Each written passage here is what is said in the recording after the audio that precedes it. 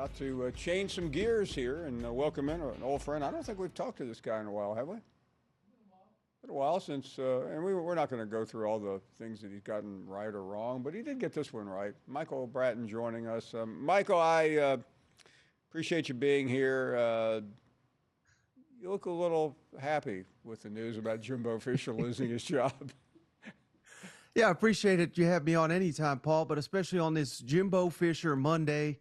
Uh, I know if I was a Texas A&M fan, I'd be over the moon right now because uh, the Aggies were certainly never a threat as long as Jimbo Fisher was riding the sidelines there in College Station. I think last time I said, Paul, he, they fixed the offense because they hired Bobby Petrino to coach quarterbacks and call the plays. I thought that was Jimbo's job.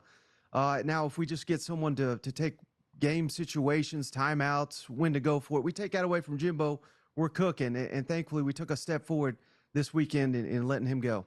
So uh, that is uh, one coach down. Zach Arnett, of course, replaced. We, we've had that conversation. As far as Jimbo's replacement, Michael, that's the, the parlor game right now. I, I you know, people, uh, for whatever reason, like to talk about coaches on the hot seat, but, they, but they, what they really like is trying to figure out who the next person is. Uh, in your uh, brilliant crystal ball. uh, who you got? Well, I do enjoy it, Paul. All these sites and writers and, and what have you to just throw stuff against the wall, and, and I'm generally not that that guy. But you're asking me to do it, so I'll do it for you, Paul. Uh, Urban Meyer, I mean, for the content would be pure gold, but uh, he is a winner. Uh, oh, hold on, hold on, My, Michael, timeout. yeah. I wasn't paying attention because I thought you said Urban Meyer. Well, if we're throwing ethics and uh, all this out the window, we're just trying to beat Nick Saban finally. Yeah, I mean, I, I don't think he could do much better. I, I, would say Lane Kiffin, but he can't win a big game, so he's worthless to Texas A&M. Uh, but you know, in all seriousness, Paul, one guy, and I have no idea if he's on the radar. I don't know if he's attainable, but if you could get him, Brohm up there at Louisville, who was obviously at Purdue before that, he is he's one heck of a coach, offensive minded. I, I, think he'd be a perfect fit if you can get him. We all know the ACC is dead in the water when uh, Florida State and North Carolina, all these teams leave. If he doesn't want to stay at that G5 league, he'll come to the SEC. Michael Bratton joining us, a man for all seasons. Uh, Michael, uh, th- those are some interesting names. Let me let me uh, bounce around a little bit because I see your power rankings every week, and I thought I was dreaming. This is what uh, Brad has. He's got, for those of you riding in the car on the radio, he goes of Vanderbilt, Mississippi State, Arkansas, South Carolina, Auburn, Florida, Kentucky, A&M. He's including Texas and Oklahoma, which is very clever of him. Tennessee at eight, Oklahoma, Texas, LSU five, Ole Miss four, Alabama three, Missouri two, and Georgia one. For some reason, I can just imagine in Shelby, Alabama, south of Birmingham, the Budweiser dropping out of Larry's hand and starting to dial the number here. How can you rank Alabama below Missouri? Is our is, is our question. Mm-hmm. Well, the, the way I do this, Paul, if they met on a neutral field tomorrow, who would I pick to win the football game? And, and give me Missouri. I mean, they just thrashed Tennessee to a level I think uh, not even Alabama did. They've went down to Athens, went toe to toe with the two-time national champions here. They've come the closest to knocking Georgia off.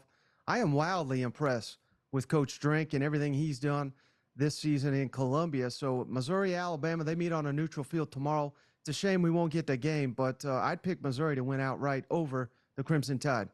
Michael, I don't want to be that guy because uh, a lot of us uh, had criticism of Nick Saban uh, after that uh, two-week uh, debacle after Texas and, and South Florida, but you're the only one. I mean, the only one who described it as a decaying dynasty. You still subscribing to that? Well, I don't think they hand out dynasties for uh, winning a division title, but if they still if they're doing that now in Tuscaloosa, I was dead wrong. This is a, a dynasty and in full tilt here, Paul, as their uh, you know the the East champion is is very likely going to be Georgia again. They're probably going to win three national championships in a row. And I'll admit, I was dead wrong on Alabama. Jalen Milroe's been a revelation. He need, he should be getting some Heisman buzz for the progression he's made this season. But yeah, when they lose to Georgia, and Georgia goes on to win the SEC, win the national championship, they can tout how wrong I was as, as they got this strong dynasty that's runner up to Georgia once again. I don't even think Alabama will make the playoff, but maybe that's how we're de- deciding uh, dynasties there in Tuscaloosa. Well, I mean, you, you, you would or you would not agree that uh, this has been a remarkable comeback for Nick Saban and, and his program, or you wouldn't agree to that. Apparently, you do not seem that impressed. Well, they're certainly playing a championship uh, level in the second half. Now they're they're getting down to all these teams, but uh, yeah, no, it, it, has certainly been impressive because uh, I, am among those. I, I, would give Coach of the Year to Drink, but I think probably runner up is Nick Saban. But at the same time, I could say, well, whose fault is it that uh, we didn't have a quarterback early? Whose fault is it that we got Tommy Rees as offensive coordinator? It's not like uh, you know these were Saban decisions that that backfired miserably early on, but full credit to him for for turning it around and, and winning the West uh, just in time to uh, get thrashed by Georgia and Atlanta. I, I, can't wait for that. I can't wait to have uh, you sitting with us uh, right before that game. Michael, uh, I must uh, go to Tennessee next. I know how much you love the, the Big Orange. Um, tough game Saturday against Rink. what was I watching? Mm. Yeah, I'm starting to waver. I, I used to think Josh Heupel was an elite coach, Paul, but uh, losing in the fashion they did to Missouri, losing in the fashion they did to Florida, getting completely outclassed by Alabama in the second half. I'm I'm starting to waver, uh, and and who knows what's going to happen on Saturday, Paul? But I would be shocked if Tennessee is even competitive in the second half against Georgia Bulldogs in Neyland Stadium. So if they get thrashed on on Saturday, I, now certainly I'm not saying we fire Josh Heupel or anything, but uh, you know it's fair to question: was that a one hit wonder? Have have teams kind of figured him out? Uh, I don't know. They, they didn't look like they wanted any part of Missouri on Saturday, Paul, and that's that's troubling because that's a team I think Tennessee fans expect to beat Missouri year annually. I don't care where that game's played. We're talking to Michael Bratton here, and uh, you know I don't know why uh, I was so prescient to think that uh, in Shelby County, Alabama, a man would, would be sitting there wanting to uh, get a piece of you. Uh, are you. Are you good to say hello to your friend? Of course. I, I think I owe him some beers too. Okay. Larry, you're on with, with Brat. Hey, what's up, Brat? You wrong every kind of way, brother. You are just off. Yeah, I mean, you ain't even close to be. You're a pinhead. You know what a pinhead is? It's your head and your brain about the size of a pin on the end of that. Itty bitty bitty. Because you ain't got no walking around sense, boy. I, I tell you what, you spend a week with me and I get you coordinated. I'm telling you, I'll slap you around a little bit, drink some Bud Lights, and go out and party some, get you down. Woo! Now, what do you think? You want me to straighten your ass out? I don't know how to respond to that. I, I can't argue with that, Paul. I mean, everything he said is, is right based on everything I've said about Alabama, but I just know I'm not going to be wrong in this uh, upcoming SEC championship now, game. Now, Brad, uh, how about a little money this time? How about a little moolah moolah?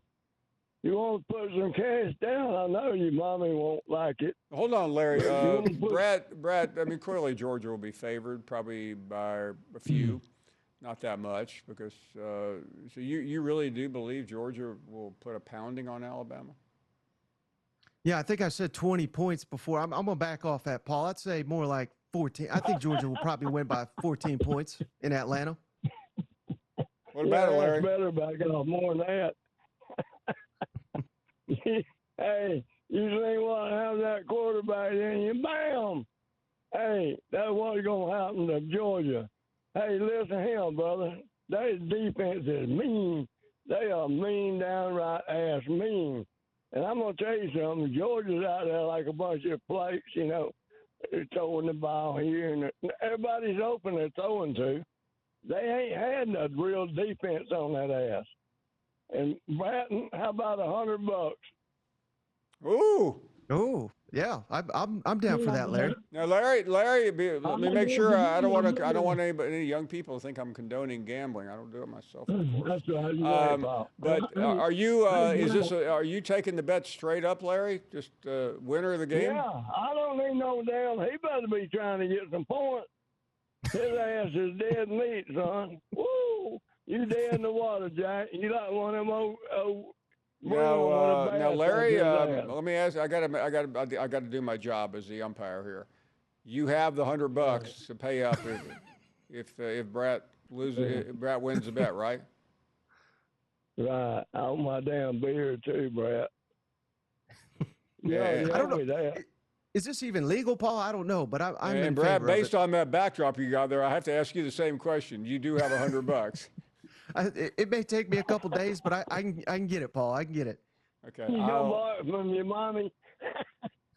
Okay. Larry, thank you very much for joining us. Okay. Brad, I did, I mean, I give you credit. No, no other guest is willing to get in the ring with a 77-year-old guy with, uh, with four pacemakers. We got to be careful, Paul. I mean, he's liable to take our our jobs uh, with with that kind of analysis that uh, we're getting from Larry. I mean, that was, uh, I mean, that that was great. Hey, Brad, uh, I've, I've heard worse with some of the folks lately uh, ar- ar- around college football. it is. Uh, I I can't wait for that game though, Paul. I, I plan on being down there at uh, you know the, the final time. It's East versus West. Maybe it should be Alabama, Georgia, and uh, who knows? I mean, if there's one team that's going to beat Georgia, I, I don't think there's any of these Big Ten teams, ACC, Pac-12. Get get out of here with that. I, I think the only threat to Georgia is Alabama. So that should be one heck of a game, and they may as well just crown the national championship in Atlanta uh, that night, in my opinion. That I agree with you on. Uh, Brad, we will. Uh, we may see you before then. I don't know. We're coming up to, to your uh, part of the country this weekend, so let us know if you're around. Absolutely, yeah. I plan on being there. There, I don't know if you've seen the slate, Paul, but uh, there, there's, it's it's hard to hype up uh, the SEC schedule this weekend. Well, it's better than it used to be. I mean, there, there was a time when there may have been only there were no good games. At least we we have we not only in addition to that, we've got a really interesting game in Columbia, Missouri. Uh, Billy Napier is zipping in there for a showdown. Yeah, it may be his last time to a uh, Columbia. Who knows, Paul? I don't believe they got South Carolina on the schedule next uh, season, but uh, yeah, Billy Napier, he's got a one heck of a recruiting class. Uh, you know, they're they're losing recruits daily now at this point in time, but that that is something he's got to hang his hat on. So, um, hey, Florida fans, I, I think they're they're dying to see uh, who th- who their next coach is going to be. There, I'm getting asked that daily. Well, that it, it was at this juncture two years ago, uh, the, the next day after the loss to Missouri, that now ESPN commentator Dan Mullen was was shown the door. Can we get Dan Mullen back in Gainesville with Billy Napier's recruits? I mean, I think we might have something there. Well, we could just make Napier the recruiting coordinator. Michael Bratton, we'll see you this weekend. Thanks, Michael, joining us from that SEC podcast. Never, never a dull moment and never a secure coach when, when Brad is on the show. We'll take a short break.